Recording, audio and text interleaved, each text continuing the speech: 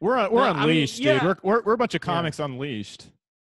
I, I I do feel like all of us here we we really are fucking ourselves by trying to actually be. I don't want to say artists because that's that's the worst way to. I, I don't even know what I'm trying Well, to I've say. got- No, I you're got- fucking. Hold on, you're fucking yourself by paying attention to literally all the worst things. The That's fact true. that you Yeah. know who Luis J. Gomez is, All right. you're, you're out of your fucking mind that you care I like about Lewis. what Luis I, J. I like Lewis. You can though. like him. no, dude, He's fuck an Lewis. insane. no. No, no, he's an insane. He's an insane guy doing jokes that were funny 10, 15 years ago. Yeah, I agree. Lewis, you're on. And, my like. Jay, they're all terrified to respond.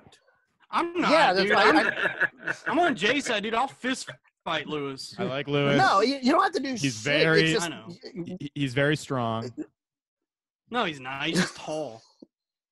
the He wanna funniest fucking- thing he's ever done. Hold on, the funniest thing he's ever done was been in a Nate Bargatze joke.